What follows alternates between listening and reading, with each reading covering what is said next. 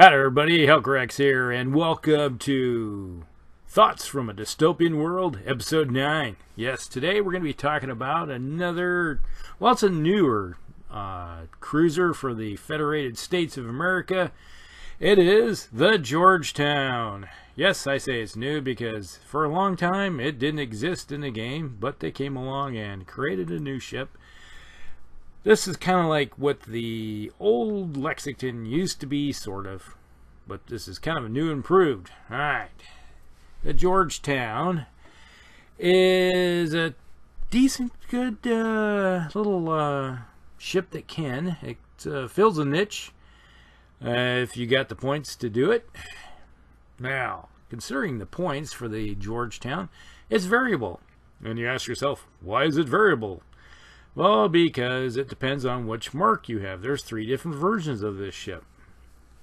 And uh, we'll get to that. Now it is a cruiser with a regular crew, so it hits uh, boarding actions on a 4, defends on a 4. Alright. Not bad, not great, pretty average, uh, to be said.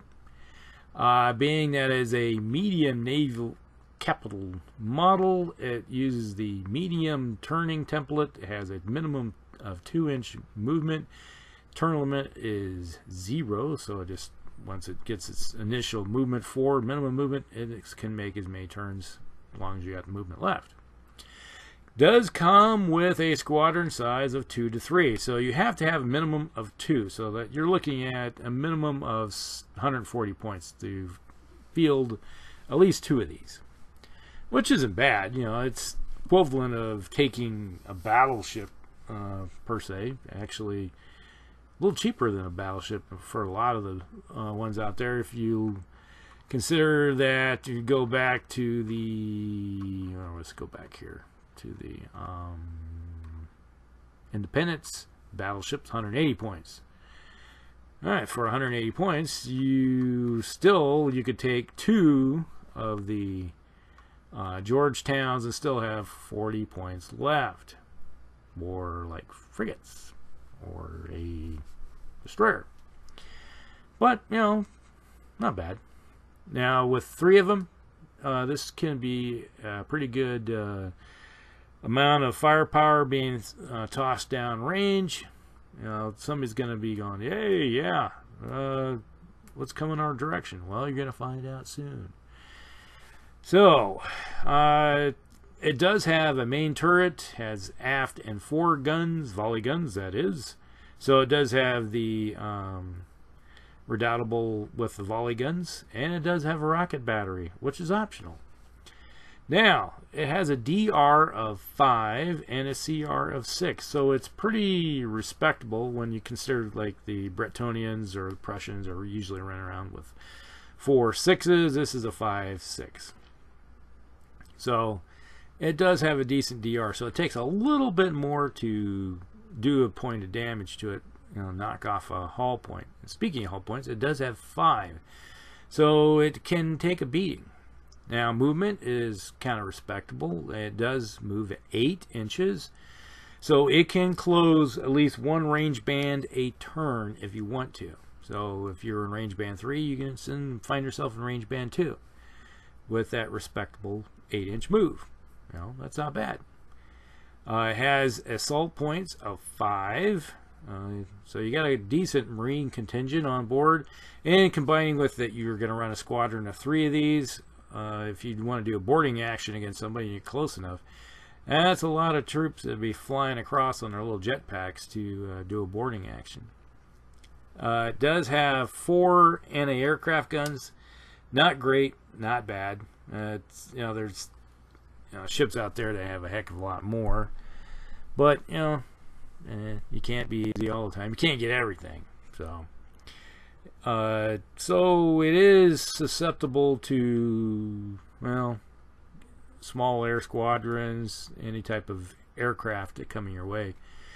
And it has four concussion charges per ship, but if you're running in a squadron and you're getting hit with only one set of torpedoes, and you get to link them together. So yeah, you can toss out eight from a squadron. That's not bad. Uh, so you have a good chance of knocking down some torpedoes coming your direction. If they only hit you with a small uh, one die bombing on one of your ships, uh, you can probably, hopefully, fight them off with eight dice, you know, combined together. And but typically, if I'm facing off against the Federated States, I tend to see to do the send the small air squadrons or any type of torpedo attacks or um, dive bombing attacks. Send them against each one and try to stretch out their um, ACAC or con- concussion. Ah, I can't even say it. Concussion charges. Say that three times fast. So it ends up uh, one of their weaknesses, and you can't exploit that. Uh, RAM rating is four, so if you run into one of your buddies within the same squadron, or somebody puts a destroyer out in front of you, or a frigate, then you can throw uh, in four indiscriminate dice at it to maybe do some damage against it. Yeah, it, it can happen. So it's not great, not bad. Now, the weapon systems on board. We do have a main turret, P weapon, which goes out to four range bands, which isn't bad. Uh, typically, that's the nice thing about the Federated States. They do have some good guns uh, with that main turret that just goes out there and hammers things at out at distance. So if you got a squadron of these, uh, you're gonna throw eight dice at somebody out at range band four if you combine them all together in link fire. That's going to possibly hurt somebody. You know, there's been times though I've done nothing. You know, it's like or sometimes I just you get lucky and you got the old exploding dice uh, syndrome going on, and suddenly a cruiser is suddenly a crater in the water and it disappears because you you rolled really good. It you know that's just luck of the dice. So at range band four, eight dice with a complete squadron shooting at the same target. And also going with these main turrets, you have sustained fire one. So when you fire, you get to re-roll one of those die that you miss with. So eh, if you roll eight of them, one of those misses gets to be re-rolled. All right, or if you're picking separate targets. Now at range band three, this is where it starts to get really good. Uh, range band three, an entire squadron is throwing eight dice at somebody the odds are you're going to hurt somebody. You know, that's the nice thing about cruisers. And for 210 points, uh, you're going to probably do some damage to somebody. Then when you get into range band 2, which odds are by the second turn you're probably going to be shooting at somebody at range band 2 if you're flying forward at maximum speed. Well, you're going to throw 16. That's really good. Really, really good.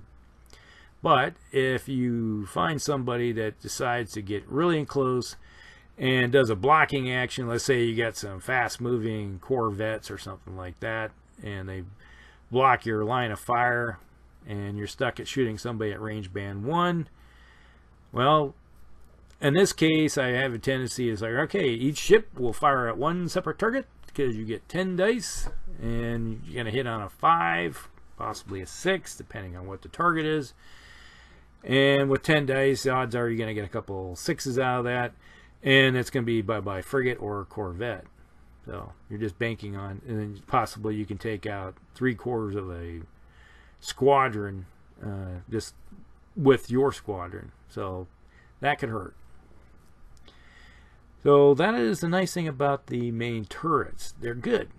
And that's the, the wonderful thing about the entire FSA is that their main guns on their uh, capital ships are really decent. I like them. That's probably one of the reasons why I was attracted to them. Now they do have the fore and aft volley guns, which have a 90 degree fore arc and a 90 degree aft arc, which is very narrow. Uh, there was a time when one of the uh, they had them at 270, but I think they changed everything to narrowed it down a bit. So, yeah, can't get everything, I guess. And the four and a half guns only go out to second range band. So if somebody has a squadron that's you know they're S weapons, so they don't have the the minuses when it comes to shooting at frigates or um, destroyers or corvettes. But you know if they're you're picking on one target at range band two, yeah, you can throw eight dice, and then you can throw twelve at range band one. So if you got somebody in your front, arc, and if you get somebody in your aft arc, well, that's even better. And then this is where it gets interesting. So we're going to talk about the options now. The rocket battery is on the Mark 1 you get an external kinetic generator. So if you take the standard Mark 1 uh, if you want to close faster you have the external kinetic generator so before you activate your squadron you roll a d6 to see how much extra movement you get with your each ship and then you just go. So it's 1 to 6 extra. So it is possible to move your squadron out to 14 inches. No that's good. So you're almost closing two range bands and on the free if you had the kinetic generators as standard, you could close to hitting somebody practically. If you're going second and they already moved somebody forward, you could be hitting somebody in range band two on the first turn. Just jumping forward like that. So it is a possibility. And it doesn't cost you anything extra to have the kinetic generator. Now, the Mark II version is still 70 points. So you exchange the external kinetic generator for a rocket battery. So this is where you have your 360 degree firing rocket battery that can hit a target out to the third range band. And if you have a target at third range band with the entire squadron, you're throwing 12 dice at them. You know, that's pretty decent. You know, so if you have somebody, you got a, a squadron with the Mark II, and you see somebody that is out there, like say a cruiser squadron, you could throw 12 dice at one cruiser and then 12 dice at a different cruiser, or you can just pummel it to death with the uh, both batteries. Uh, the turret batteries and then the rocket batteries. I have a tendency to just like, all right, I'm going to pick on this one with these guns, and then I'm going to pick on them with the rockets on this one. And the reason I do that is just in case the guns go, because the guns are going to fire first. It is possible to roll really good and then just obliterate it, and then your rocket batteries are doing nothing because, oh, your target's gone. So I like to just like, all right, pick on this target and then pick on this target. So if I do really well with both die rolls, then I can eliminate two ships or just obliterate them and have them floating scrap pound them into the ground.